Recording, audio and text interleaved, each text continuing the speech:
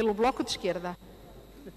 Senhora Presidente, Senhora Secretária de Estado, Senhores Secretários de Estado, Senhoras e Senhores Deputados, Senhor Secretário de Estado dos Assuntos Fiscais, eu quero fazer-lhe uma pergunta, uma primeira pergunta muito direta.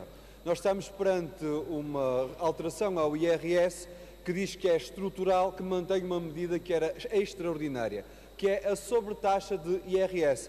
Era extraordinária, seria para vigorar uh, no exato tempo de que fosse necessária, nem mais um dia para além disso, no entanto, reformaram o IRS e a sobretaxa mantém-se. É de dizer que depois de tanta reforma a montanha continua a parir uma sobretaxa.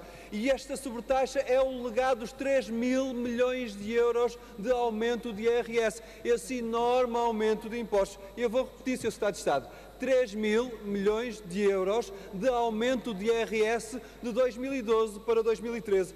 E o Sr. Secretário de Estado estava ao lado do Ministro Vítor Gaspar quando ele foi garantir que eram mesmo 3 mil milhões de euros, o enorme aumento de impostos.